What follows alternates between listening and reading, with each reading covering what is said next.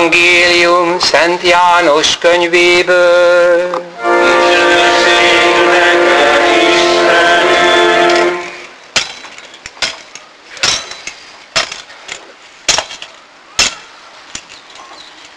Abban az órában Jézus keresztje mellett ott állt anyja és anyjának nővére Mária, ki Kleofás felesége volt, és Mária Magdolna.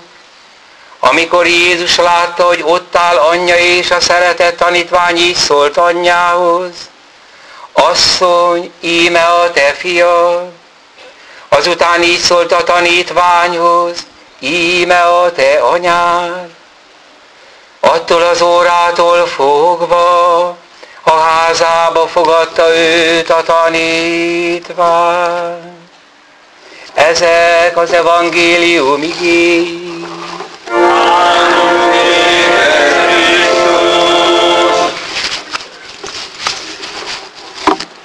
Krisztusban szeretett testvéreim!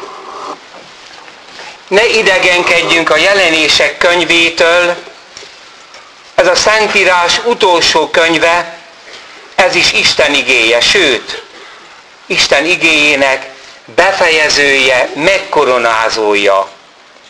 Az egész kinyilatkoztatás és az Ó és Ószövetség, Új Szövetség benne van, de nem pontosan megfogalmazott mondatokban, hanem kavargó, örvénylő álomképekben, amely egyszerre többet is jelentenek. Olvasásához hadd mondjam meg, ami benne nem érthető az Ó és Új Szövetségből, azt nem kell megérteni. Az a műfajához tartozik, ez egy álomvilág, látomások, képeknek a zuhotaga. Tulajdonképpen összefoglalja az Ó és Új Szövetséget, de hát akkor mi többet mond? Van egy konklúzió, egy következtetés. A patmoszi látnok azonos a negyedik evangélium írójával, azzal a Szent Jánossal, akiről most olvastuk, hogy ott állt a kereszt alatt. Túléli az apostolokat, megéri az első véres keresztény üldözést, Patmos szigetén vasárnap, valószínűleg az eukarisztia ünneplése közepette elragadtatásba esik. És amit ott lát, az nem a világtörténelem előre megírva, hiszen nincsen sors, az nem a maga a történelem, hanem a történelem értelme. Egy nagy konklúzió. Ő is a többi apostollal látta a föltámadt Jézust testben. Testvérek, ez a keresztény reménységünk. Nem az, hogy van egy Isten, az mások is tudják, hanem az, hogy a názáreti Jézus, az Isten fiát, az Atya, a Szentélekkel föltámasztotta, és a mi testünknek egy új formáját adta meg neki. És János azt mondja, akkor végbe ment a jövő. Hiszen az a mi testünk volt. Ugyanazokból az atomokból épül fel, mint ez a világ. Tehát Jézus Krisztusban a világ mindenség föltámadt. Újjá alakult. Ezt látták. Ez az a biztos jövő, hogy hogyan és mikor, az nem ránk tartozik. Egy házról házra járó eretnek néni egyszer egy kis Ferencest megkérdezett, hogy olvasta-e már a titkos jelenések könyvét. Hát azt mondta, hogy olvastam. És nem fél. Erre azt mondta az a kispap, hogy azóta nem félek. Mert azok a borzalmas képek, az, amelyek mindig visszatérnek, nincs haladás benne, az az Isten ellenes hatalmak harca az egyház ellen, de a vége a várány győzelme, a vigasztalások könyve. De hol van a kulcs, amely kinyitja a jelenések könyvének igazi értelmét? Ezt a 12. fejezetet nem érthetjük meg a 4. és 5. fejezet nélkül. Egy fönséges látomás tárult elém, írja János. Egy trónt lát, látott a mennyben, akin ült valaki. Ez a valaki az Isten. Testvérek, óriási mondani valója van, aktuális mondani valója. A világ mindenség központja egy valaki, nem pedig valami. Nem a sors irányítja az emberiség életét, a sors az valami. Nem a világ energiák, amiben most eszetlenül hisz Európa. Nem a jósoknak, nem a pogánykodó magyaroknak a panteizmusa, akik a holdat, napot, csillagokat imádják ostobán. Te semmit és senkit ne imádj, csak a trónon ülőt, az örökkön örökkén élőt. Valaki van a mindenség mögött, nem valami. Százszor elmondtam, de még elmondom, ha élek, amikor borozgatás közben azért fölmerül a vallás kérdése egyes helyeken, hát akkor azzal zárják, nagy magyar butaság, a nagy magyar bölcsességet félreteszik ilyenkor, mindenki hisz valamibe. Hát bocsánat, valamiben én nem hihetek. A mobiltelefonban nem hiszek, a mikrofonban nem hiszek, a sorsban nem lehet hinni. Hinni csak valakiben lehet. Ebben a trónon ülőben, aki a világ mindenség teremtője. Ezt látja János. Hét fákja égett a trón előtt, ez a hét ajándékot osztó Szentléleknek a képe. Vagyis egy másik valaki is van az Istenség mélyén, a Szentlélek. Mert ahol van ajándék, ott kell lenni ajándékozónak. Ahogy egy francia fiatalember, aki a 1968-as lázongás tagja volt, majd aztán megunta ezt az üres lázongást, és kiment Indiába, és guru lett. Igazi hindu, elhagyva kereszténységét. Sőt, guruvá avatták. Meditál, kizárja a szenvedést és az örömet is, mert Buddha szerint a gyűlölet is látszat, a szeretet is csak látszat nincsen, mert látszat az, hogy te meg én vagyok, minden egy azért egy kemény lelkiség. Elvonatkozni attól, hogy fáj a lábad, hogy valaki megsértett. Mindent elfelejteni.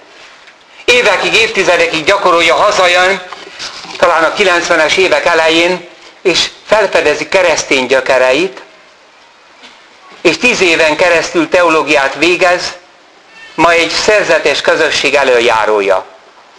Tehát ő hitelesen beszél a két világnézetről.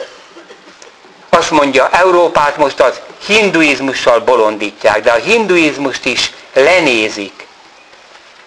Nem az igazi hinduizmust hozzák, mert ilyeneket mondanak. Nem kell neked a templomba járni, minek az, hogy, hogy egy közösséghez tartozol, hanem egyedül. Kiülsz délután a napra, és akkor meditálsz is és fogod a mindenségből a szeretetet. Testvérek, a mindenségből nem sugárzik szeretet. Ha sugárzik, akkor van valaki, aki szeret. Az indiai meditáló nem fogja a szeretetet, hanem a semmit. Mit hazudnak Európának? Ezek az írástudó árulók, akik a keresztény hittől meg akarják fosztani az embereket, és visszalökni a semmibe. És azt mondja, íme tisztelni kell minden vallást. Tisztelem is Gandhi vallását, de ez nem az. Ez egy kereszténységgel bekevert semmi. Vigyázzatok testvéreim! Ha ajándékokat érzünk a világból, akkor van ajándékozó. És ez az ajándékozó Jézus szerint az a hét láng, a Szentlélek. Ő is valaki. És a trón előtti 24 szék volt. Aki ismeri a Szentírás, rögtön kiszámíthatja, hogy kétszer 12. A 12 törzsfő, az Ószövetség képe, és a 12 apostol. És éjjel-nappal kiáltották, Szent, Szent az Úr, a mindenható Isten, aki volt, aki van és aki eljövendő. Izaiás látomását idézik és a 24 vén leborul a trón előtt, koronájukat leteszik, és kiáltják, méltó vagy, Urunk Istenünk, hogy tiéd legyen a dicsőség, a tisztelet, a hatalom, mert Te alkottad a mindenséget, akaratot hívott létre, és teremtett mindent. Íme itt van az Ószövetség első tanítása, ami nélkül az evangélium csupán egy mesekönyv lenne. Az, hogy ez a mindenség, az egész csillagvilág a semmiből lett. Nem magától van. Magát nem okolja meg. Az a 20. századi nagy filozófus kérdése legyen minden ember lelkébe, miért nem a semmi van? Miért a mindenség van? Magától nincs semmi. Isten teremtő. Isten hatalma azt jelenti, hogy ami nincs, abból elő tudja hívni azt, amit akar. Ez az Isten. Ennek a nevében jött Jézus Krisztus. Az ő csodái természetesek, hiszen kicsoda ő. Az, hogy jelen van föltámadott testével az oltári szentségben, mondhatnám, az nem olyan nagy csoda, mint hogy ti itt vagytok, mert a semmiből vagyunk. Ezt érzi India, amikor azt mondja, ami, ami van, az nincs. Valamit megéreznek. Isten teremtő akaratával hívott létre mindent, és testvérek, ez az akarat, ez most is itt van. Ha nem akarná, hogy legyen világ, akkor nem por és hamu lenne, hanem semmi se lenne. Ez jelenti, hogy Isten szereti a világot. Ma is akarja. A mindenség mögött ott van egy elragadtatott Isten imádás. Testvérek, de hol van a Fiú Isten? Ha tovább olvassuk a negyedik fejezetet, átlépve az ötödik fejezetbe, ezt olvassuk. Akkor a trónon ülő jobbjában egy kívülbelül teleírt könyvtekercset pillantottam meg, mely hét pecséttel volt lepecsételve. A trónon ülő az Isten. A kezébe levő könyvtekercs az emberi történelemre vonatkozó döntés, mint ahogyan az ókori királyok döntésüket leírták és kihirdették. A pecsét azt jelenti, hogy le van zárva. Hét azt jelenti, hogy teljesen le van zárva. Senki nem ismeri a történelem értelmét, így benne az én életem értelmét sem, a tiédet sem, csak egyedül a trónon ülő. De hát akkor, akkor mi van? Egy hatalmas angyalt láttam, aki harsány hangon hirdette, kiméltó arra, hogy kibontsa a könyvtekelcset és feltörje pecsétjeit. De senki sem volt képes rá, sem a mennyben, sem a földön, sem a föld alatt, hogy kinyitsa a könyvtekelcset és belepillantson. A jó sok ideje lejárt. Mózesselnek Isten megígéri, hogy majd testvéreit közül támasztok valakit, aki szemtől szembe beszél az Úrral, mert még Mózes sem beszél sem szemtől szemben. Mert elhaladt előtte az Úr, de Mózesnek be letakarta a szemét.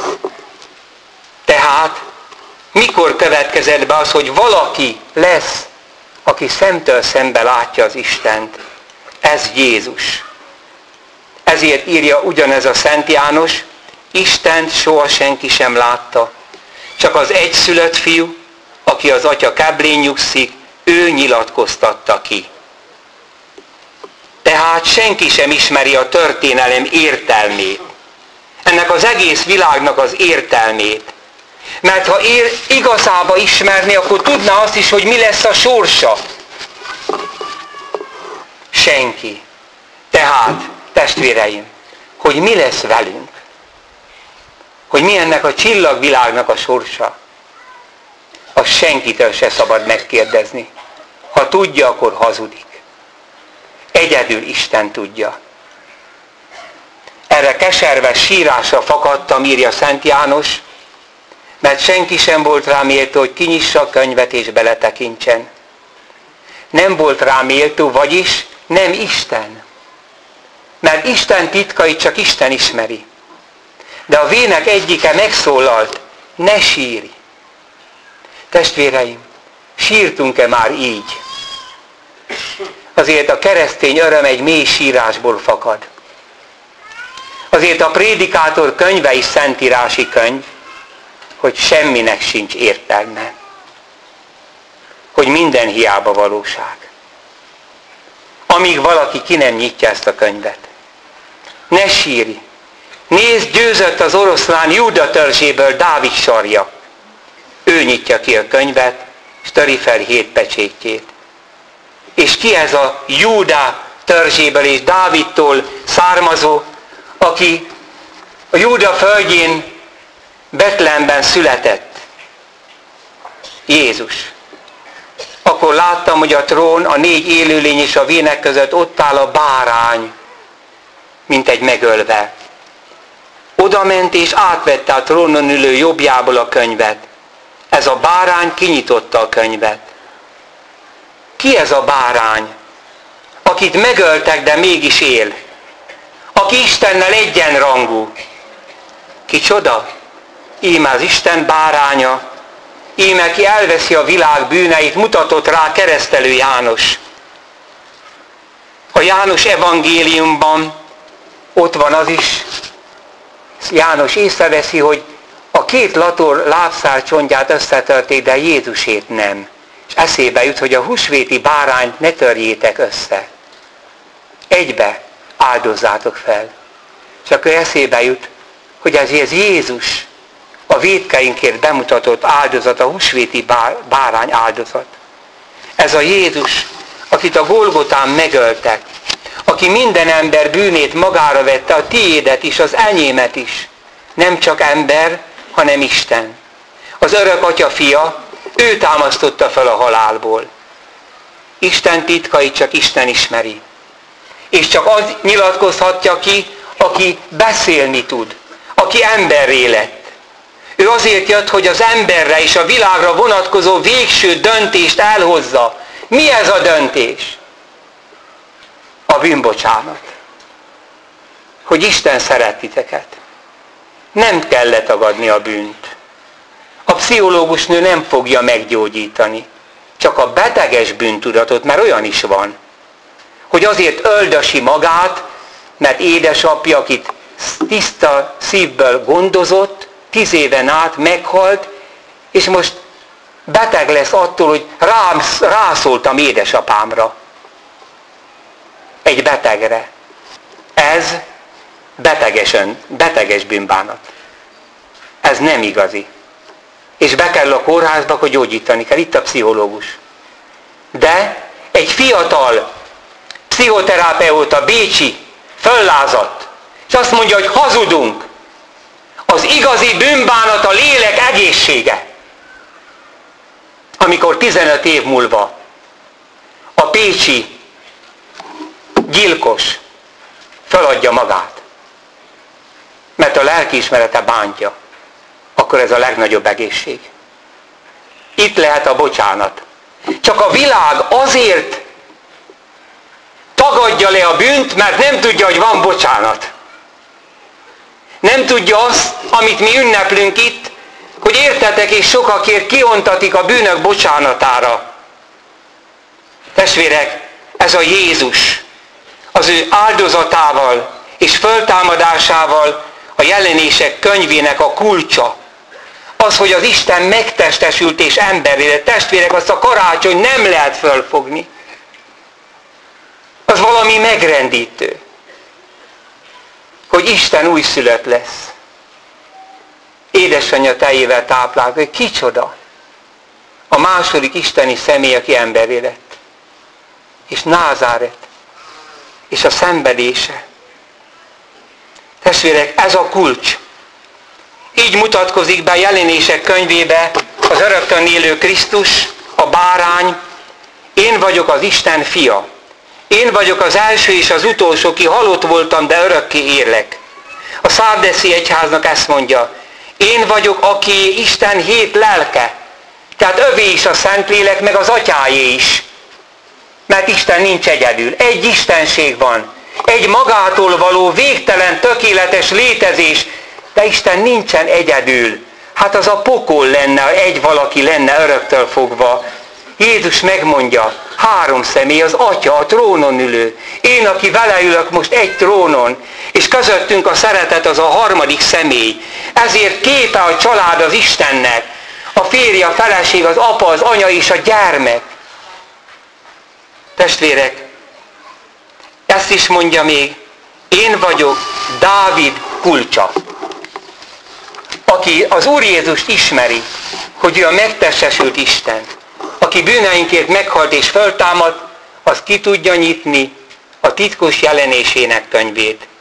És a most felolvasott, az előbb felolvasott jelenetet, a 12. fejezetet így értjük meg. Ebben a szövegben is elsősorban Jézus kell keresni. Megjelenik a napba öltözött asszony, ki ez? Megjelenik a nagyvörös sárkány, ki ez? Odaáll a szülőasszony, és fel akarja falni a gyermekét. Mit jelent ez? És ki ez a gyermek? Erre kapunk választ, ha eddig figyeltünk. Azt olvastuk az előbb, hogy megszülte az asszony ezt a gyermeket, és a mennybe ragadták. Ez egy nagyon rövid összefoglalása Jézus életének. A két végső pont. Hogy Máriától született az asszonytól, és hogy mennybe ment. Ez a legrövidebb összefoglalása Krisztus eseménynek. Hogy asszonytól született, de az égbe ragadták. A többit ezzel már áttölelt, ezzel a két végső ponttal. És az Isten trónjánál van. Tehát az asszony gyermeke a mi Urunk Jézus Krisztus. Ezt valljuk meg a hiszek egyben is, hogy fogantaték a Szentlélektől született Szűz Máriától, és fölment a mennybe. Tehát a jelenések könyvének kulcsa maga Krisztus, aki megjelenik ebben a felolvasott részletben. A sárkány teremtés könyvében tudjuk az őstígyó, maga a sátán, de itt más is van. Hét, tíz szarva van, meg ilyesmiket beszél. Római birodalom jelképe, amelyik üldözi véresen a kereszténységet. Tehát az a sötét, bukott szellem, aki lesöpörte a csillagok egyharmadát az égről, vagyis az angyalok lázadását és bukását idézte elő az emberiség történelme előtt, ez mindig istentelen nagy birodalmakon keresztül működik. Vigyázzunk! A római birodalom, amikor üldözi véresen Krisztus egyházát, akkor vadállat. Akkor a sötét szellem uralkodik rajta amikor Hitler millióra számra gyilkolja az embereket, és Stalin, akkor ez az a vadállat, aki mögött ott van a sátán. És nehogy ilyen birodalmat építsünk. Isten neve megint hiányzik az európai alkotmányból. Meg szabad ölni a magzatokat, meg lehet szavazni, hogy kinyírjuk az öregeket, illetve maguk kérhetik, és az emberi élet két végét szabadon gyilkolhatjuk, akkor a közepét se. Senki se tudja megakadályozni. Vigyázzunk. A nagy vadállat most is működik. Mindenkivel dolgozzatok együtt. Legyen új, szent Európa, Amerika. De mindazt vessétek el, ami, a vad, ami vadállattá teszi a birodalmat, amikor a férfi és nő férfiasságát és nőiségét tagadják. Mindez lázadás a teremtő ellen. Sötét hatalmak birtokába van az ilyen. Nagy a mi hivatásunk. Persze az őskigyót levetette az Úr. Győzött a kereszten. De még vagdalózik, rugdalózik a történelem folyamán. Testvérek, és ki az az asszony, aki napba öltözött. A nap az Istent jelenti, Mária, kegyelemmel teljes. Egyes magyarázók szerint ez az asszony, ez az anya szent egyház. Bocsánat, az is. És ez egy újabb mondani való. Az álomképek úgy összefolynak.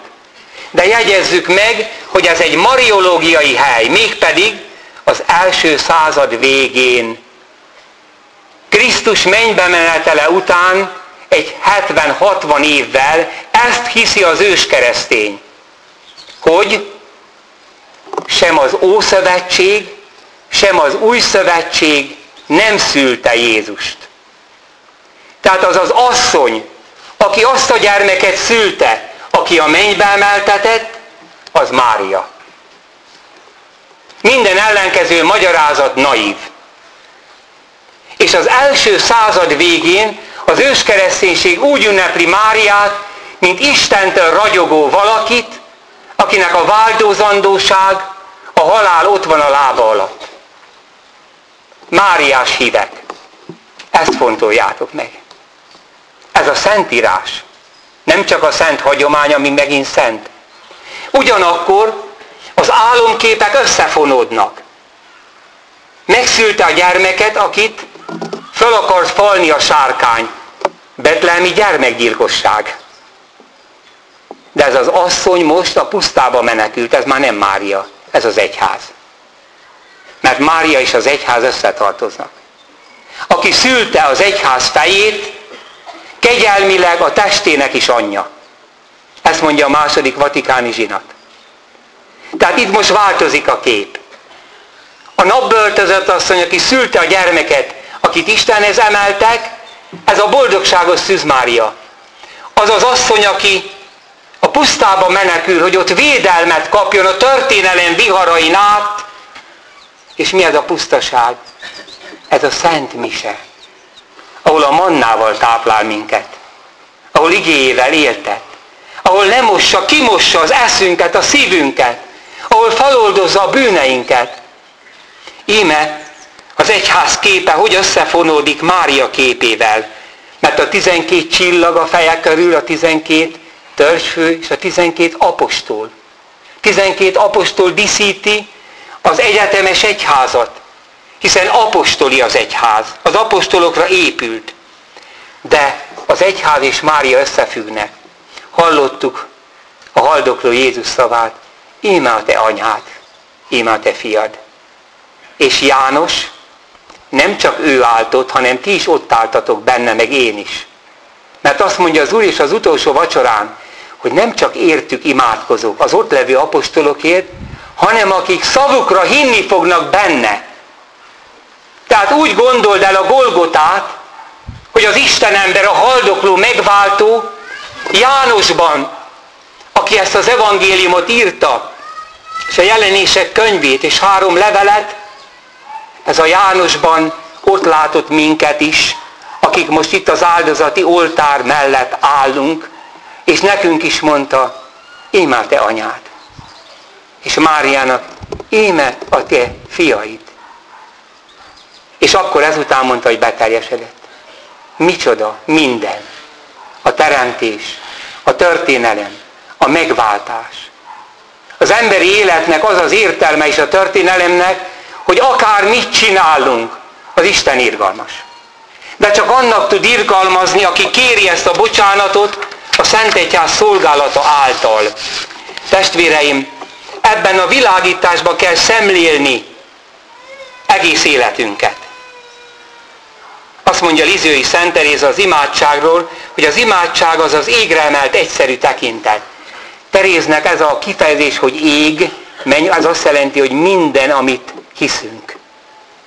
Tehát van egy imádság, amikor nem mondok semmit, nem gondolok semmire, hanem minden együtt van.